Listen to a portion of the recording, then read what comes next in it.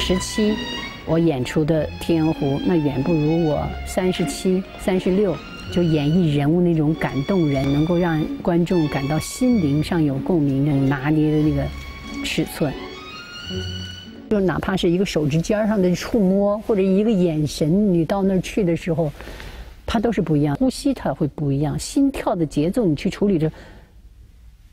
那种心动，你可能就年轻的时候，他那个音乐全都是一样的，叫第就平的。但是你要到了一定年，你你到了一定的就是成熟度，或者你会有意识的，我把这个就是音乐的有爆发的，然后之后慢慢慢。